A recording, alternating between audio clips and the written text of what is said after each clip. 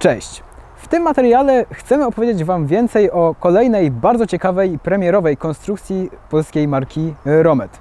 Mowa o autorskim e, fullu z aluminium postawionym na 29-calowym kole, który na papierze klasyfikowany jest jako rower enduro, jednak jak się szybko okaże, wyróżnia się na kilku polach na tle typowych rowerów klasyfikowanych właśnie jako enduro. Romet zapowiada, że w tym modelu znajdziemy bardzo nowoczesną geometrię oraz dość innowacyjny system e, tylnego zawieszenia. O kim mowa? Mowa oczywiście o długo zapowiadanym modelu Dagger, którego wersja 2, więc ta bardziej zaawansowana, trafiła w nasze ręce na testy.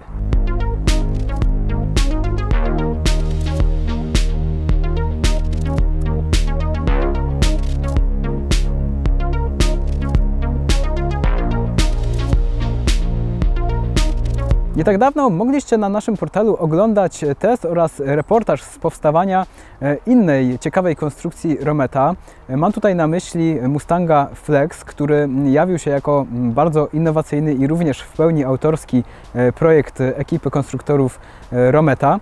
I faktycznie Romet ma się czym chwalić, bo polski producent dysponuje obecnie swoim własnym centrum badawczo-rozwojowym, a także bardzo innowacyjnym w skali całej Europy i podejrzewam, że także w skali, w skali całego przemysłu rowerowego zakładem produkcyjnym skupiającym się obecnie głównie na produkcji e, ram i komponentów z aluminium. I proszę, nie trzeba było długo czekać, żeby w naszych rękach znalazła się kolejna ciekawa autorska, podkreślam, e, konstrukcja Rometa. I mowa oczywiście o e, zapowiadanym długo Romecie Dagger. Na papierze ten rower klasyfikowany jest jako rower do enduro, natomiast zastosowano w nim nieco mniejszą ilość skoku.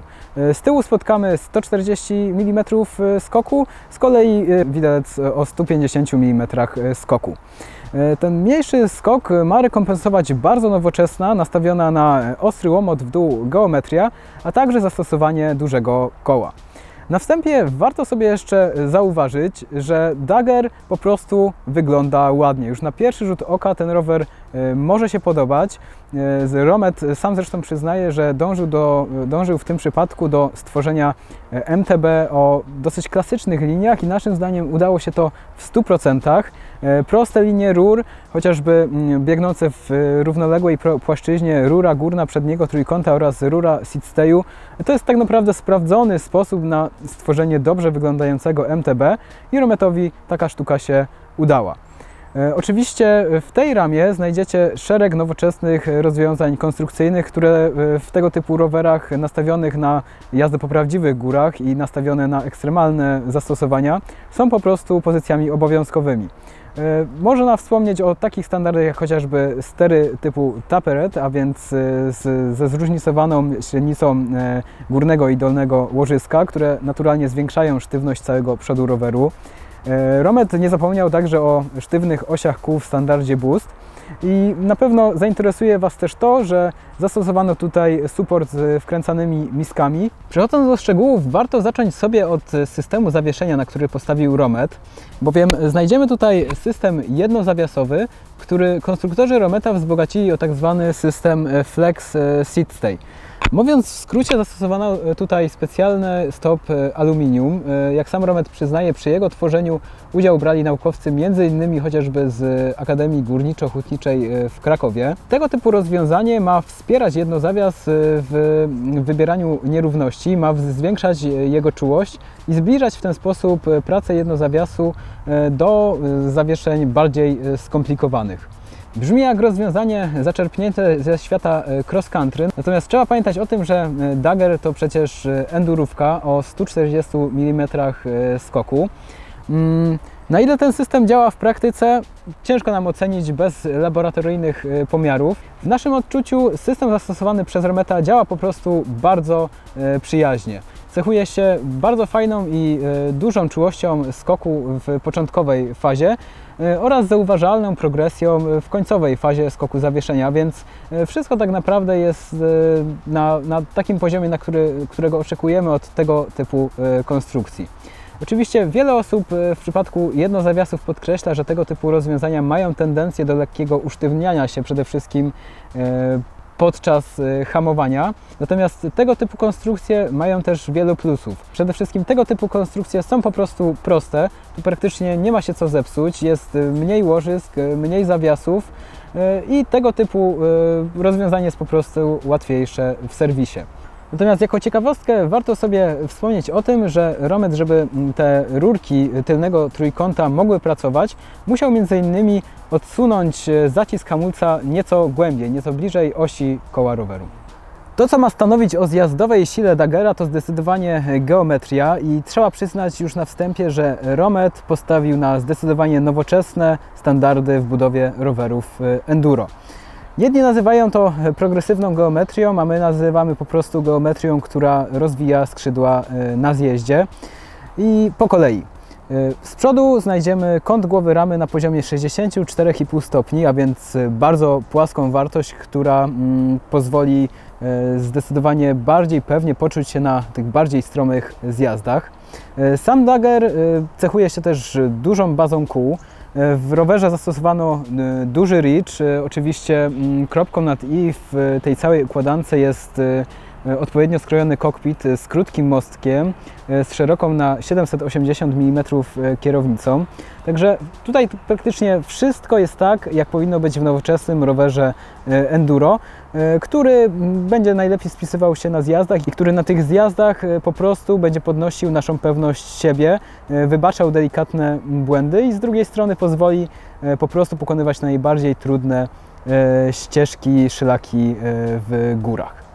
I w praktyce rzeczywiście tak jest. Y, trzeba pamiętać, że y, w tym modelu wspiera nas także duże koło, które znakomicie przetacza się po przeszkodach. I model ten zdecydowanie czuje się dobrze na szybkich prędkościach, gdzie jego stabilność jest na bardzo wysokim mm, poziomie. Jedynym y, takim małym detalem, do którego moglibyśmy się przyczepić, to kąt rury podsiodłowej, który nie jest zbytnio nastromiony. I skutkuje to tym, że na tych najbardziej stromych podjazdach będziemy musieli nieco e, popracować e, ciałem, przesunąć nasz ciężar ciała mm, do przodu, e, żeby nieco bardziej dociążyć przód roweru i żeby bardziej efektywnie móc kręcić.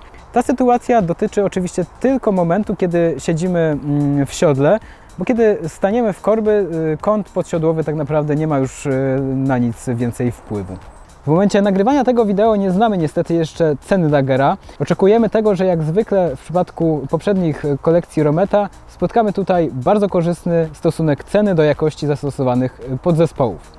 Dagger 2 to jak wspominaliśmy na wstępie ten bardziej zaawansowany i lepiej wyposażony Dagger w kolekcji i to zdecydowanie widać w jego specyfikacji. E, za amortyzację odpowiadają tutaj znane i sprawdzone produkty RockShoxa, m.in. E, widelec Revelation. A idąc dalej, spotykamy napęd e, Shimano zbudowany głównie na podzespołach z grupy XT serii M8100, a więc grupy 1 razy 12 Romet umiejętnie szuka oszczędności i tak naprawdę znalazł je tylko w miejscach kasety, gdzie spotykamy produkt z grupy Shimano SLX y, o ogromnej rozpiętości 1151. Natomiast z przodu spotkamy już y, korbę z blatem 32 zęby i tutaj y, ciekawostka, bo zawieszenie Daggera zostało skonstruowane w ten sposób, żeby właśnie najlepiej współpracować z zębatkami o takiej ilości zębów. Idąc dalej na liście specyfikacji spotykamy hydrauliczne hamulce tarczowe, również z grupy Shimano XT i za to ogromny plus dla Rometa, bo według wielu mm, te zaciski i te klamki e, oferują jakość pracy równą do zjazdowych e, zacisków e, Z.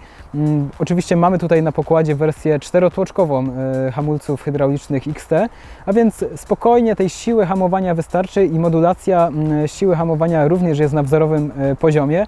Jak zwykle po raz kolejny w naszych materiałach podkreślamy, Shimano ma patent na tworzenie znakomitych hamulców, o czym również przypominają nam e, hamulce e, XT.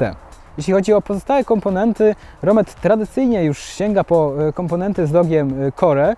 Mm, ciekawostką poza tym nowoczesnym kokpitem, o którym wspominaliśmy, jest dropper. Mm, pierwszy raz mieliśmy okazję testować dropper z, ze stajni Core i zaskoczył nas on tak naprawdę szybkością działania, szybkością powrotu. Tutaj ten dropper działa bardzo szybko i bardzo sprawnie i jednocześnie e, ma bardzo fajną, ergonomiczną i tak naprawdę solidną tutaj w dotyku e, manetkę, także kolejny plus dla Rometa. Tak naprawdę ostatnim takim ważnym punktem na liście specyfikacji są koła. To również sprawdzony produkt e, ze stajni DT Swiss, a mówiąc konkretniej e, koła M1700 o wewnętrznej szerokości obręczy 30 mm, a więc po raz kolejny wszystko tak jak powinno być e, w nowoczesnym rowerze e, enduro. Na wadze Dagger 2 osiąga masę na poziomie 15 kg. E, Taką masę spotykamy zarówno w katalogu, e, jak i na naszej redakcyjnej e, wadze, więc potwierdzamy. Jest to standardowa wartość w segmencie aluminiowych endurówek bliskich Daggerowi. Dlatego nie możemy stwierdzić, że ten rower jest jakiś super lekki albo cierpi na nadwagę, po prostu znajduje się w takim złotym środku swojej klasy. Jak zwykle, jeśli chcecie dowiedzieć się więcej o tej premierowej konstrukcji Rometa, zapraszamy Was do lektury testu na portalu bikeworld.pl i jeśli podobało się Wam to wideo, proszę zostawcie łapkę w górę i zasubskrybujcie nasz kanał, żeby być na bieżąco z naszymi kolejnymi filmami. Do zobaczenia!